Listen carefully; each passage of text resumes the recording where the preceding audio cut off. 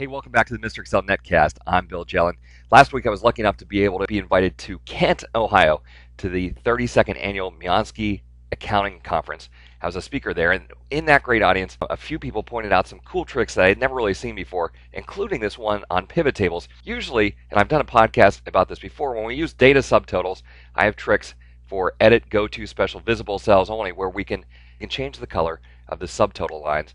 Well, on a pivot table, it's also possible to do that. If you use data pivot table, I'll just click finish, and I'll create a pivot table where we have months going across the top, and then maybe region and product along the left-hand side, and revenue in the heart of the pivot table. Now, what we'd like to do is take all of those region totals and change them to a different color. Now, watch how this works. If I hover above the number 8 and then move slightly into column A and click, I will be able to very quickly select all of the total rows. Now once those are selected, then I can just go up to the formatting toolbar, use the fill color, and very quickly add color to all of the different subtotal rows. This also works with the grand total over on the right hand side.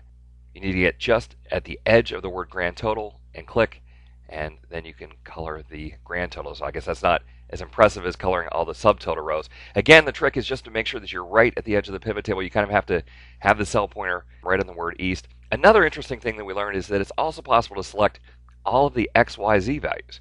So if I get just at the beginning of XYZ, I can actually change the color of the XYZ values, DEF, different color, and ABC, different color.